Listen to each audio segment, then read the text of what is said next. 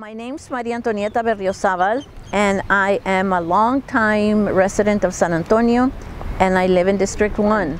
I like to come to Woodlawn Lake uh, to enjoy nature.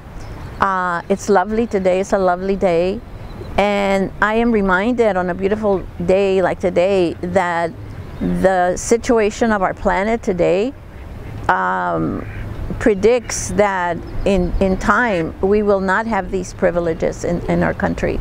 And there are parts of the world and parts of our country that are already experiencing the woes of climate change.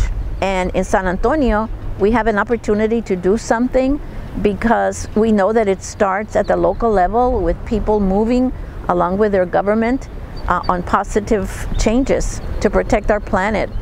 We have a, an action plan, a climate action plan that a lot of people have worked on for a long time and right now it's on shaky ground.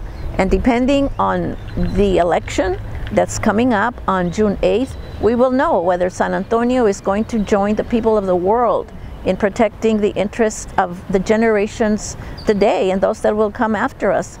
I am supporting the climate action plan of San Antonio because of the children I am so proud of the children throughout the world who are speaking up for their own lives. They're not waiting for the adults. I'm reminding of Greta Thunberg from Sweden who inspires me every time I listen to her.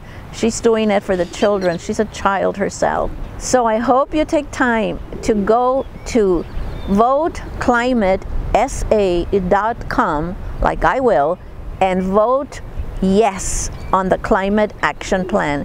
And then when early voting starts, I am going to go vote for the candidates who support the action plan and who are saying yes to future generations. We want a healthy planet for you.